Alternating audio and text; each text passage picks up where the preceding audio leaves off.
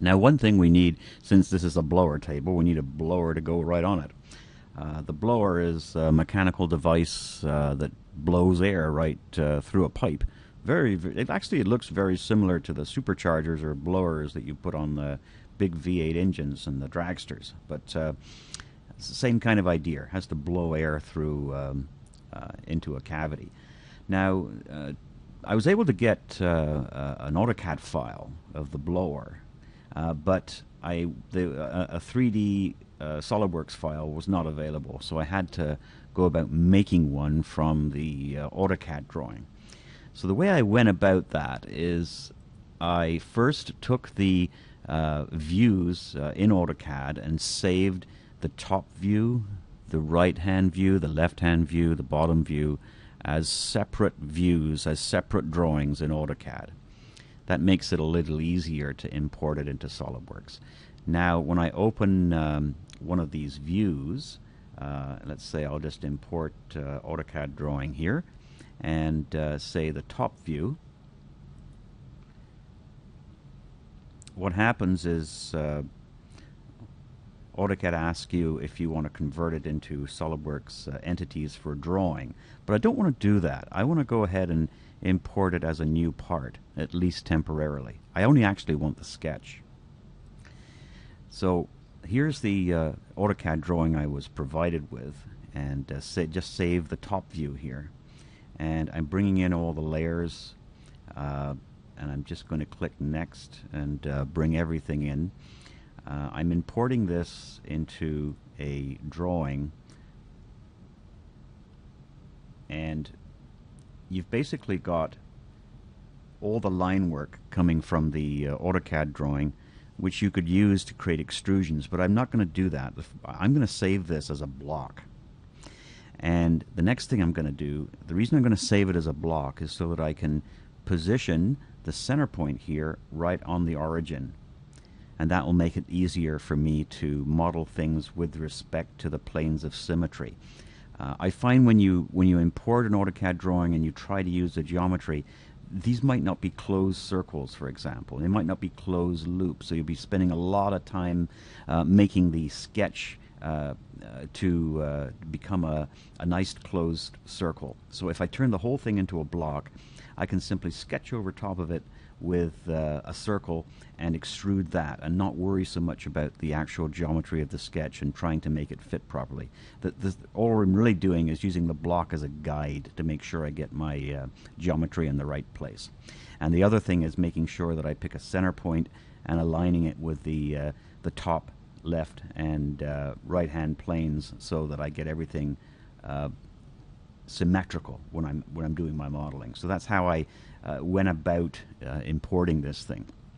So that's uh, that's how I took care of this, and I'll just close this out because I've already done it here in another uh, drawing. So here's the sketch I imported into my model, and I also imported another view of it. You see here on the on the other plane. So now I've got the end view and the top view coincident with the center and, and I've got my planes, my front plane, uh, my top plane is aligned and my right plane, all the sketches are aligned with those planes. So it should make it easy to extrude in different directions to get this, uh, get this thing looking like a reasonable approximation of the blower. So and to do that, you'll see how I started here. I'm extruding the basic shape from the outline, the profile of the blower. So here I just made a sketch coincident with this oval shape, the outside of the blower, and then just extruded it. I didn't need to take any dimensions. I just needed to make an oval shape that was coincident with this sketch that I imported. And then I just did another extrusion in the opposite direction, the same distance, and I've got myself the basic shape of the blower. And I've also got points on the top sketch here that I can uh, extrude to vertex. You see this vertex here is the overall length of the blower uh, and the next part here that's the flange uh, that the uh, some of the mechanicals sit on. So that's a separate part. but I extruded the body of the blower up to that vertex.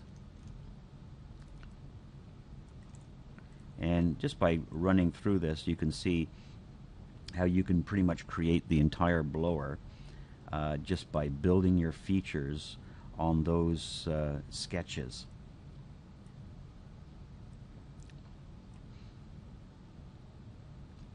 Cutting a hole through it, and here's where I added those. See this these flanges on either side. Here's another one here, starting to be built, and uh, just extruding it out again to these vertexes on the sketch. So there's the vertex on the sketch that, that gives you the thickness of that flange. And it even shows you where the location of the bolts are uh, if you want to uh, put all the bolts in. But uh, I'm just going to be approximating this thing anyway. I, I, I, basically just want the height and the overall dimensions uh, and the mounting. What I'm, what I'm really interested in is the mounting of this thing with the feet. So that's, that's what I'm working towards.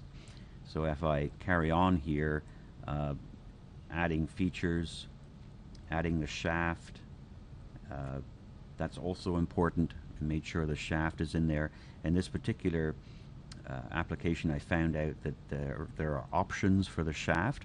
So you have either a left hand or a right hand shaft, and mine has the right hand. So I had to transfer this uh, shaft from one side to the other to get it to look proper. So the um, that's how the, uh, the the blower is coming together. The as we carry along here, now I start getting the feet in place, which are uh, are quite important because I want to know where those holes are going to go in the blower table.